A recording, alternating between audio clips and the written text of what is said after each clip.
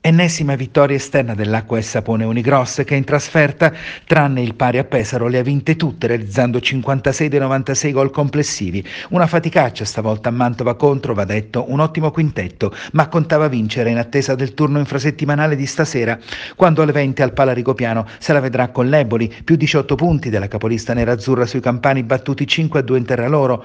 Pure alle 20 di stasera incontro proibitivo sulla carta per la Color Max Pescara a Pesaro, ma la squadra di Palù Belushi vive sulle ali di un entusiasmo ritrovato dopo lo splendido colpaccio 3-2 contro il Forte Padova. Tre punti che, in concomitanza con altri risultati, rilanciano Coco e compagni in un'area respirabile. Per la cronaca tra i pali il giovanissimo 18 anni Federico De Luca, esordiente da applausi contro i Veneti per l'espulsione e conseguente squalifica di Mazzocchetti. Ferma la 2 in B rinviato per il Covid il big match tra la Real del Montesilvano e la capolista Molfetta. Donne bloccato sull'1-1 in casa il Montesilvano dal kick-off mentre in A2 va segnalato lo scatto in vetta solitaria del Francavilla che espugna anche il campo del Sabina Lazio 9-3, mentre perdono in casa il Florida Pescara 1-2 col Chiaravalle e l'Orione Vezzano 1-3 con il Santa Maria Nuova.